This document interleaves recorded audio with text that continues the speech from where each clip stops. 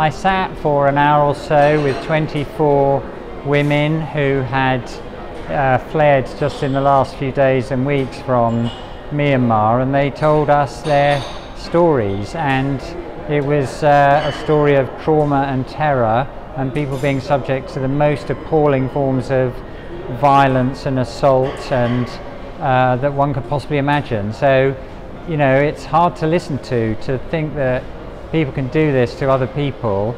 I think the important thing is that these women who've suffered so greatly now get the help that they need, the counselling, the food, the shelter, the protection, the medical and other related uh, services. So as you know, we are on the verge of launching the next phase of the UN response plan.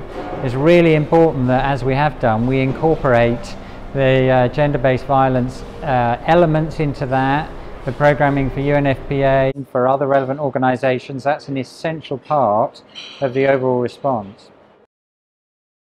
I have a 17-year-old daughter um, and I'm married and I hear the stories of those women and those young girls and I can't contemplate how terrible it would be to imagine my own wife or daughter being in those kind of circumstances. It's beyond human, the kinds of suffering that those women have been put through.